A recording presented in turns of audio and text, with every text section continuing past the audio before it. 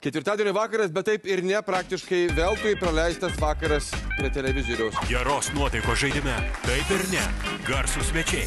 Ar užkips Andrius Tapinas ant Arūno Valinsko kamliuko? Kas žaidimo vedėjas sieja su kas rytą? Su žiūrovais besisveikinančia Egle Daugelaitė. Sužinosime jau ketvirtadienį 19.20 per LRT televiziją.